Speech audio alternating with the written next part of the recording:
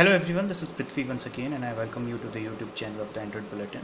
Uh, well, so today in this uh, video I'm just going to shoot a very small tutorial about uh, uh how you can add uh, the exchange or uh, you know the POP email addresses to your Gmail app.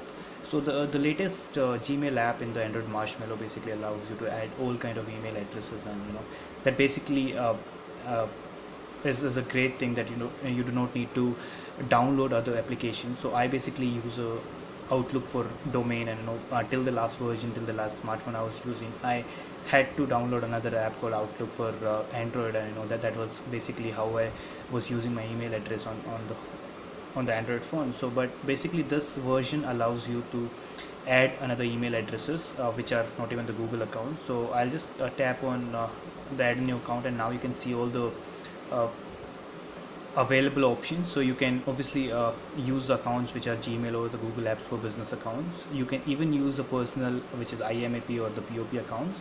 Or you can have the exchange you know uh, the, the work email address. So i basically use the exchange settings for uh, my own personal email id so the moment i click on next it is asking me to enter the email id so i'll just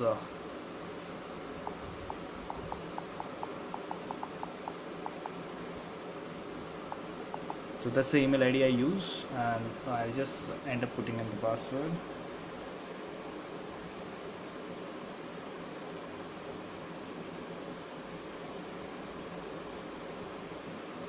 So I just done entering the password and I'll just click on next.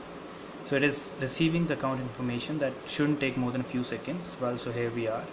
And so in the server it basically depends on, on which server you're using where you are hosting your email addresses. So for me it is uh, outlook or hotmail. So the server used for this is m.hotmail.com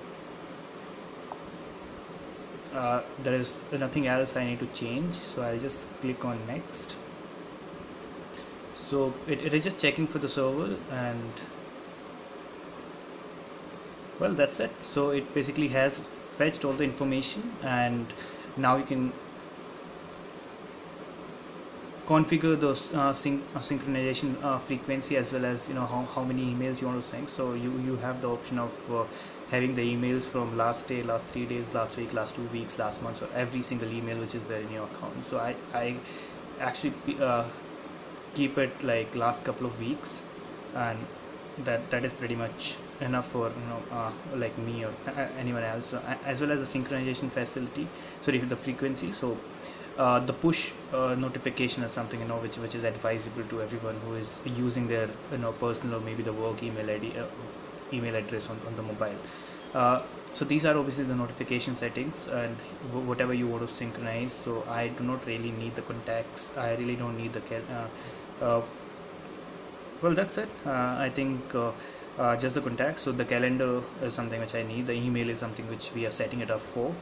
And do you want to be notified when the email arrives? So well uh, the, the mark is tick. The moment I click on next so it is just creating the account and it, it is just fetching the uh, email the emails which I have on my account. So I'll just name it uh, Outlook email.